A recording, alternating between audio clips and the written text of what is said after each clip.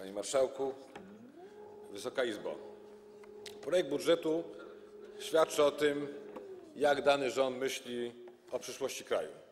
I są takie rządy, które ojczyznę zadłużają, a są takie, które wprowadzają na ścieżkę wzrostu. I z przykrością muszę stwierdzić, że rząd pani premier Beaty Szydło, obecnie premiera Morawieckiego, wprowadza Polskę na ścieżkę zadłużenia i przejadania perspektyw polskiego wzrostu. W ciągu ostatnich dwóch lat zadłużyliście polskie społeczeństwo o 80 mld zł. I tego faktu nie może się ukryć. Ostatnie dwa lata też nie zostały wykorzystane na żaden z projektów rozwojowych.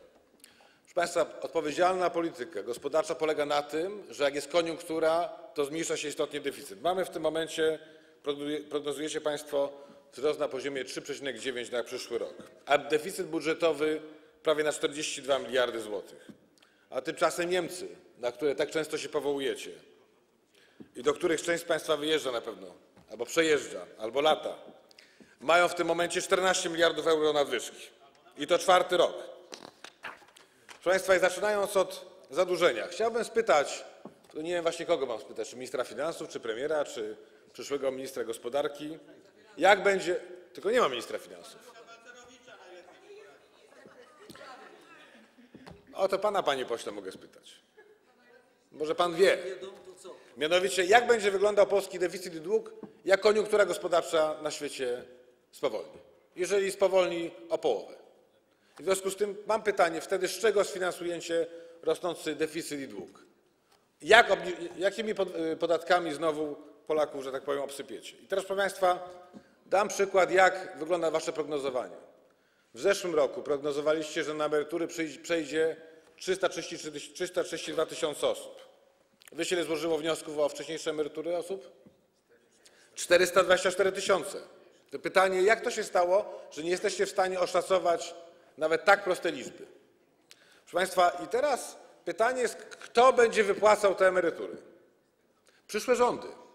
I to jest dokładnie taka polityka, jak prowadził Jaruzelski w latach 80. Mianowicie wprowadził wcześniejsze emerytury. I jakie rządy potem te emerytury wypłacały? Solidarnościowe, czyli po nas choćby potop. Nie przejmujecie się Państwo tym, kto będzie te dziesiątki, 20 miliardów złotych na te wcześniejsze emerytury przeznaczał, wypłacał. Pamiętajcie o tym, że to, co robicie dzisiaj, będzie miało wpływ nie tylko na przyszłe pokolenia, na najbliższe lata. Obiecywaliście, że nie będziecie podwyższać podatków, a od przyszłego roku, zobaczymy, jaka będzie decyzja Trybunału Waszego, od przyszłego roku ma wzrosnąć składka dla lepiej zarabiających o 5 mld złotych. Ale co więcej, a oprócz tego dla wszystkich podwyższyliście składki o 50 zł miesięcznie, dla każdego. Szanowni Państwo, inflacja. Nie mówicie o inflacji, a ja chciałem podsumować, wydaje mi się, kilkoma liczbami najlepiej rok waszych rządów 17. Ceny żywności, panie pośle, wzrosły o 5,8%. Masło 35% wzrost cen. Jaja 25%. Mięso drobiowe 7%. Warzywa 3,5%. Masło 35%. Jeszcze raz powtórzę. Chcia... Panie, ale to Polacy, proszę pana. Jeżeli pan w innych krajach kupuje żywność, to może to pana interesuje, ale Polacy kupują żywność w Polsce i płacą za waszych rządów o 6% więcej w tym roku niż w zeszłym. Ja oczywiście rozumiem, że inflacja was cieszy, bo każdy rząd, jak ma wyższą inflację, proszę o ciszę, panie pośle z Platformy i panie pośle z PiSu.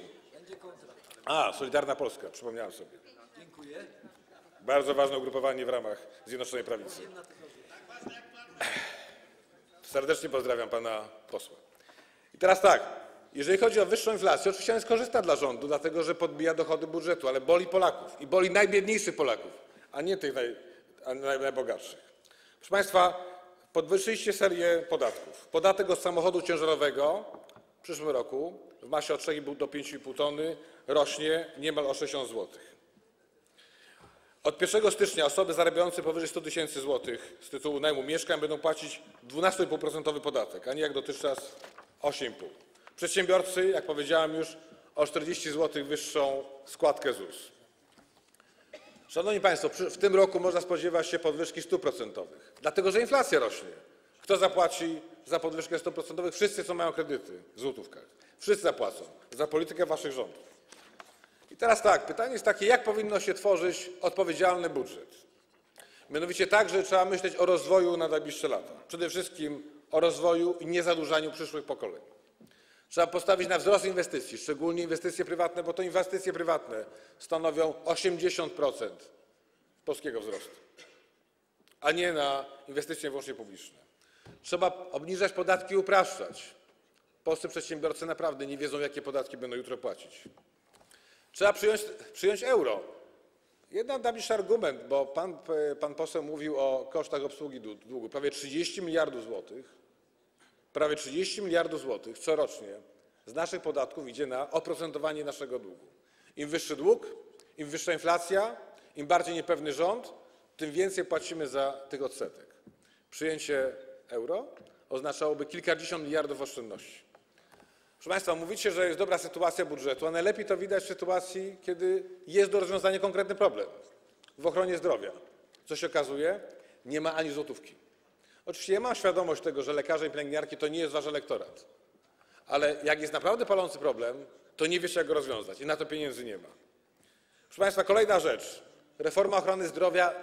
Oprócz tego, że nie ma pieniędzy, to trzeba rozwiązać to systemowo.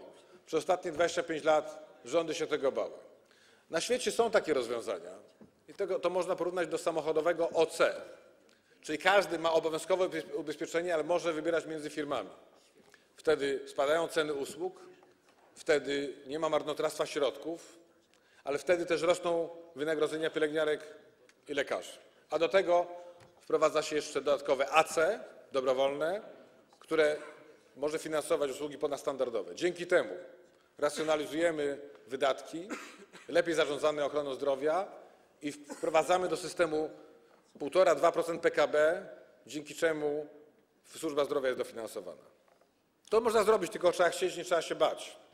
I to jest y, oczywiście apel do wszystkich, którzy będą w przyszłości również rządzić. Proszę Państwa, za Waszych rządów spada za- zatrudnienie, czyli coraz więcej osób wychodzi z rynku pracy. Osoby, kobiety szczególnie, które w tym momencie przeszły na, bezrobocie, czy przestały być aktywne zawodowo, po kilku latach będą chciały wrócić na rynek pracy. Będzie im bardzo trudno. Nie myślicie o nich. A będą na bieda emeryturach, które w tym momencie ZUS poprzez wasze działania wypłaca poniżej 1300 zł na głowę. To jest naprawdę bardzo mało z perspektywy życia. Trzeba wprowadzić zasadę, co nie jest zabronione, jest dozwolone. To jest fundamentalna zasada, która może uruchomić polską przedsiębiorczość. I dwa, rozpocząć likwidację przywilejów zawodowych w sp- w sposób spo- stopniowy, w rozmowie ze związkami zawodowymi, bo tam jest olbrzymie marnotrawstwo i olbrzymie środki.